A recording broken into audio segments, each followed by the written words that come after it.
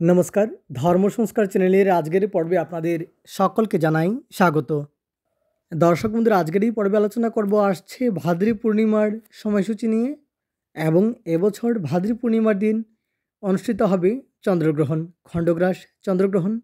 এই গ্রহণ ভারতে অদৃশ্য নাদৃশ্য এই গ্রহণ আমাদের মানতে হবে কি না, এই গ্রহণে সুতকাল থাকবে কি না, তাই আজকের এই পর্বে আলোচনা করব ভাদ্রী পূর্ণিমার সময়ক্ষণ সহ খণ্ডগ্রাস চন্দ্রগ্রহণের সময়সূচি নিয়ে। দর্শক বন্ধুরা, পহেলা আশ্বিন চোদ্দোশো একত্রিশ ইংরাজি আঠারোই সেপ্টেম্বর দু হাজার চব্বিশ বুধবার পূর্ণিমা এবং এই পূর্ণিমাকে ভাদ্রী পূর্ণিমা নামে জানা যায়। ভাদ্র মাসের শুক্লপক্ষের পূর্ণিমা তিথি যা পড়েছে আশ্বিন মাসে।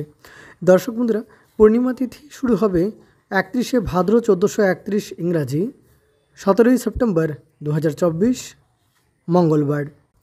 সকাল এগারোটা চার মিনিট পর্যন্ত থাকবে চতুর্দশী তিথি, তারপর শুরু হয়ে যাবে পূর্ণিমা তিথি এবং পূর্ণিমা তিথি থাকবে পহেলা আশ্বিন চোদ্দোশো একত্রিশ ইংরাজি, আঠারোই সেপ্টেম্বর দু হাজার চব্বিশ বুধবার।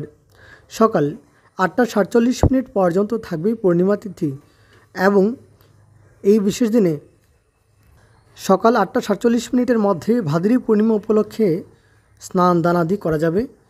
শ্রী শ্রী দেবীর ধনুনযাত্রার সমাপন হবে সেদিনই এবং এই বিশেষ দিনে সূর্যোদয় হবে সকাল পাঁচটা ছাব্বিশ মিনিট গতে, সূর্যাস্ত হবে সন্ধ্যা পাঁচটা পঁয়ত্রিশ মিনিট গতে এবং পূর্ব ভাদ্রপদ নক্ষত্র থাকবে দুপুর বারোটা চন্ন মিনিট পর্যন্ত শুলযোগ থাকবে সকাল ছটা দুই মিনিট পর্যন্ত, তারপর গণ্ডযোগ এবং ববকরণ থাকবে সকাল আটটা সাতচল্লিশ মিনিট পর্যন্ত। আর অমৃত যোগ থাকবে সকাল ছটা একুশ মিনিট পর্যন্ত, আবার সকাল সাতটা আট মিনিট থেকে সকাল সাতটা চুয়ান্ন মিনিট পর্যন্ত থাকবে অমৃত যোগ। সেই দিন সকাল আটটা সাতচল্লিশ মিনিট গতে, কিন্তু কালবেলা অনুরোধে সকাল নটা উনষাট মিনিট গতে অপরপক্ষ বা প্রেতপক্ষ বিহিত শ্রাদ্ধ এবং তিলতর্পণ আরম্ভ হবে। দর্শক বন্ধুরা, এই যে পিতৃপক্ষে পূর্বপুরুষদের উদ্দেশ্যে তর্পণ করা হয়, এই তর্পণ করার বিধি নিয়ম এবং তর্পণ করার আগে মানে পিতৃপক্ষ শুরু হওয়ার পর থেকে তর্পণ না করা পর্যন্ত কী কী বিধি নিয়ম মেনে চলতে হয় তা নিয়ে ভিডিও তৈরি করা আছে এবং তর্পণের নিয়ম নিয়েও ভিডিও তৈরি করা আছে। ডেসক্রিপশন বক্সে সেই ভিডিওর লিঙ্ক দেওয়া আছে, চাইলে সেই ভিডিওটি দেখতে পারেন। দর্শক বন্ধুরা সেদিনই পূর্ণিমার উপবাস এবং পূর্ণিমার নিশি পালন। পূর্ণিমার নিশি পালন একত্রিশে ভাদ্র চোদ্দোশো একত্রিশ ইংরাজি সতেরোই সেপ্টেম্বর দু হাজার চব্বিশ, মঙ্গলবার। সেই দিন সকাল এগারোটা চার মিনিট গতে শুরু হবে পূর্ণিমা তিথি। দর্শক মুদ্রা, প্রদর্শী সন্ধ্যা পাঁচটা ছাপ্পান্ন মিনিট, বত্রিশ সেকেন্ড গতে রাত্রি সাতটা বত্রিশ মিনিট, বত্রিশ সেকেন্ডের মধ্যে শ্রী শ্রী সত্যনারায়ণ ব্রতম এবং সেদিনই পালিত হবে শ্রী শ্রী বিশ্বকর্মা পূজা এবং অরন্ধন। যদি অরন্ধনের সাথে শ্রী শ্রী বিশ্বকর্মা পূজার কোনো সম্পর্ক নেই অরন্ধন, অর্থাৎ যেদিন কোনো কিছু রান্না করা হয় না এবং ভাদ্র মাসের অন্য যে কোনো দিন যদি অরন্ধন করা হয়, তাহলে তাকে ইচ্ছারন্ধন বলা হয়। তবে ভাদ্র মাসের সংক্রান্তিতে সাধারণত অরন্ধন পালিত হয়। অরন্ধন অর্থাৎ যেদিন কোনো কিছু রান্না করা হয় না এবং এই সতেরোই সেপ্টেম্বর সকাল এগারোটা চার মিনিট গতে আঠারোই সেপ্টেম্বর সকাল আটটা সাতচল্লিশ মিনিট পর্যন্ত স্ত্রী তৈল মৎস্য মাংসাদি এবং সম্ভোগ নিষেধ, যেহেতু পূর্ণিমা তিথি। খুব ভালো দিন।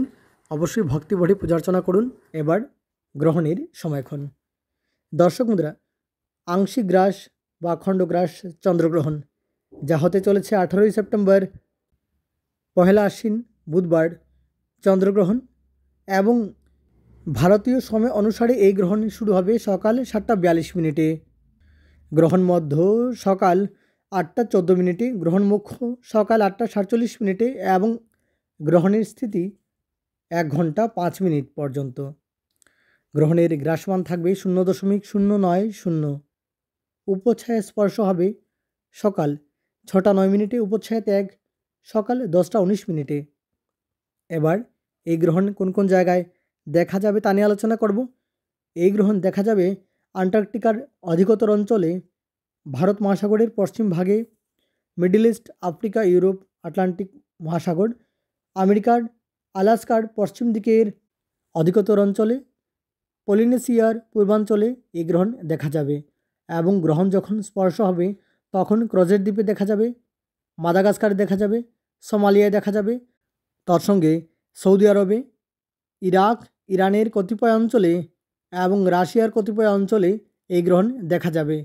এই গ্রহণের মুখ্য প্রশান্ত মহাসাগরের উত্তর এবং দক্ষিণ ভাগে তার সঙ্গে কানাডায়ও দেখা যাবে।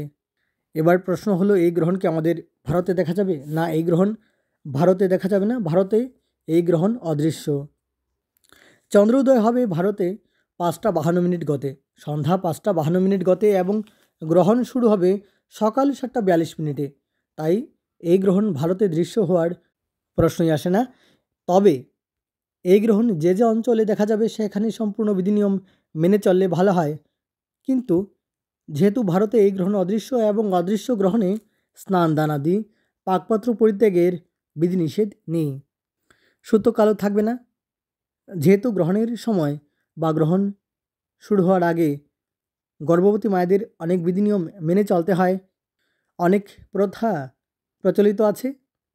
তবে যেহেতু এই গ্রহণ অদৃশ্য এবং অদৃশ্য গ্রহণে সুতোকাল থাকবে না সুতোকাল মান্য হবে না এবং অদৃশ্য গ্রহণে স্নানদানাদি পাকপাত্র পরিত্যাগের বিধিনিষেধও থাকে না।